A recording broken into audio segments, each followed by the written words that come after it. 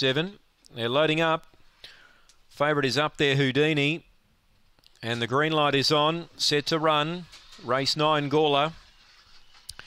They're set racing, very even line. We've got the inside Grit Blaster leading, tries to hold them out. Back to last goes up there Houdini, and Grit Blaster led and kicked away.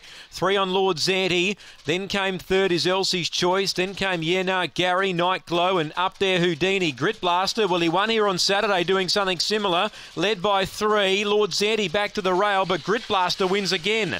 Now, Elsie's choice has really sprouted wings here and dived at Lord Zanti for second and might have got that. Night glows in a photo for fourth with Yenar Gary, who didn't jump. And up there, Houdini, the favourite weekend to run last after a poor beginning. 23 28 the time, 23 28. Grit Blaster goes back to back for Kev Bewley. Leads and wins like he did on the weekend. Four is second, Elsie's choice two third Lord Zanti, one four two, one four two, five fourth. So Kev Bewley with first, second, and fourth, two and three quarters, the winning margin by a head. It's one four two five, 23 and 28 the time after race nine. The red too good, race nine Gawler.